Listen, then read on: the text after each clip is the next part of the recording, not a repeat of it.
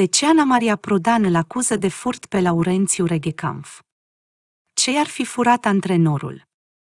Divorțul dintre Ana Maria Prodan și Laurențiu Reghecampf ține în continuare prima pagina a tabloidelor. Asta după ce Sex Impresara împarte toate informațiile noi cu marea sa comunitate de care se bucură pe rețelele de socializare. Ei bine, întrebarea care stă acum pe buzele tuturor este legată de motivul pentru care aceasta îl acuză pe antrenor de furt. Ce ar fi furat, de fapt, încă soțul ei?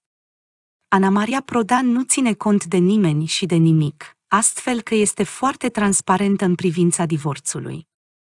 Deci Laurențiu Reghecam își dorește ca lucrurile să fie rezolvate departe de ochii curioșilor. Sexy impresara nu ține cont de acest aspect și de cărțile pe față.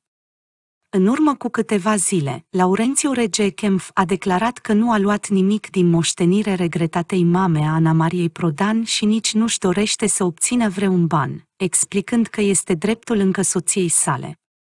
Ei bine, sex impresara a ținut să clarifice lucrurile și a explicat în fața tuturor că declarațiile sale sunt false. Astfel a precizat că i-au fost sustrase bunuri și bani care aparțineau familiei Reghecamp Prodan, fără a fi înștiințată în vreun fel, astfel că pot fi considerat furt.